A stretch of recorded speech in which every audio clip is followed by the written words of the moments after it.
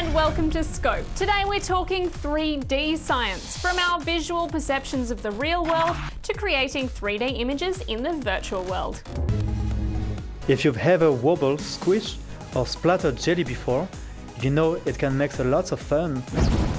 But our jelly is much more of a medical wonder. Hi, I'm Aurelien. And I'm Melika. We are biologists, and together we are working on growing cells using bioink.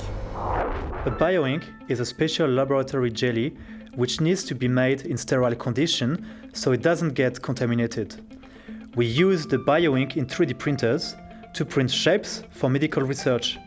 This is called bioprinting. The bioink we are working with has a very special function. The shapes we print with our bioink are used to grow living human cells. We do this with donated cells which are implanted into the bioink shape. The bioink has exactly the right conditions to form new human tissue.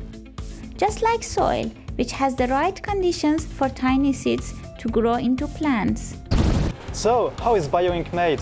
If you have ever made jelly at home, this might look familiar. We start with a powder called agarose, which is actually extracted from seaweed. This gives the gel its springy feeling. We add purified water and heat it up. Then we add a precise mix of proteins called peptides. They are the magic ingredients that help the cells communicate and grow.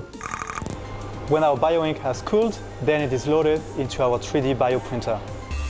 This device is connected to a computer, which sends the design of our exact shape to get printed in BioInk.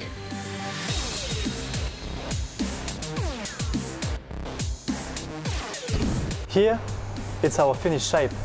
It's a new home for our donated cells to grow. We have printed a tube shape to create a new blood vessel. The cells are carefully transferred into the tube, where the peptides help them grow. We then treated the cells to glow green under our microscope to check on their growing progress. When the blood vessel is fully grown, it can be used for medical tests. This means we could find out if a new medicine works the way it's supposed to, testing it on tissue we have grown instead of a real human patient. That's a much safer way to test new medicine, which could help millions of people in the future. So one day soon, 3D bioprinted tissue could be the key to saving lives.